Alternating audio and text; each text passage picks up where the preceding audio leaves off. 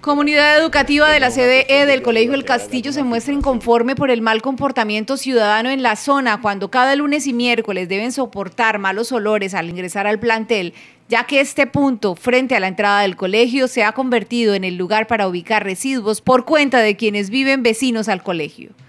Es un llamado más que todo sí a la comunidad, porque nos trae muchos, muchas consecuencias de enfermedades animales, en la zona mal olor.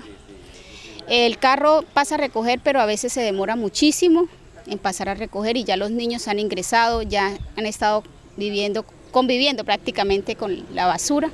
Entonces, queremos hacer un llamado de atención sobre esto. Sí, nosotros estamos muy afectados acá con eh, la cuestión de las basuras porque se ha venido presentando tiempo atrás donde los padres de familia de este sector colocan las basuras acá alrededor del colegio.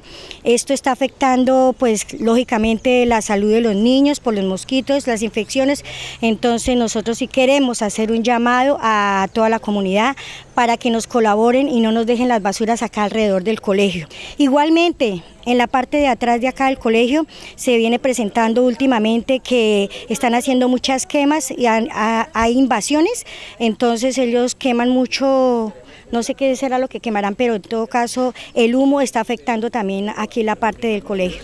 Además de esta situación, la comunidad hace un llamado a entes competentes por el estado de la malla vial que dificulta el tránsito por la zona más de 26 años que nunca se le hace un mantenimiento a la vía, exactamente a los alrededores de la escuelita. Está totalmente deteriorada, es más, es un peligro tanto para los niños como para nosotros que pasamos a diario en nuestra moto. Yo me he visto aquí prácticamente caído, gracias a Dios, pues uno maniobra, ¿no? Su motico. Dando a conocer sus necesidades, esta comunidad espera la solución por la ubicación de basuras en la entrada del colegio de sus hijos y de igual forma esperan intervención en su vía.